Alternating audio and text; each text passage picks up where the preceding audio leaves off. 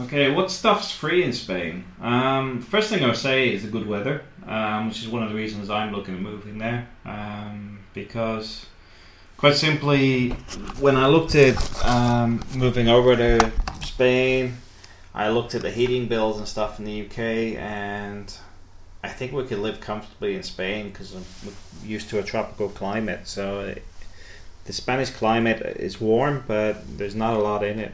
Um, it's probably less humid, if anything. But what's free in Spain? Um, beaches are free. Because um, the reason I'm bringing this up is like I was really shocked in the UK how much parking and everything's bloody been um, shooting up. Where it used to be a lot of free places, they've suddenly all become uh, expensive, charging for everything. Um, so climate's good.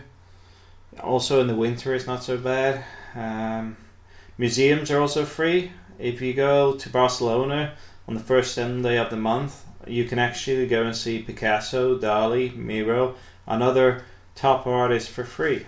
Um, books, CDs, and DVDs you can borrow from the libraries for free.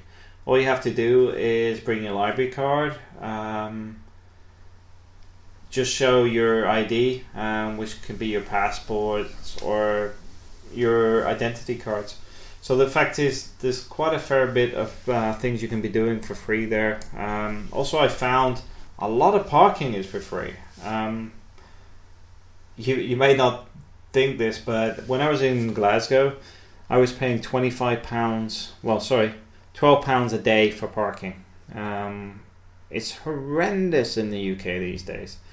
I actually don't go shopping a lot of time, and it's not because I'm tight, but a lot of time the parking's more than it would than it um, cost for me for what I was going to buy in the first place. um, so that's a few free freebies. Maybe you can add some more at the bottom in the comment section.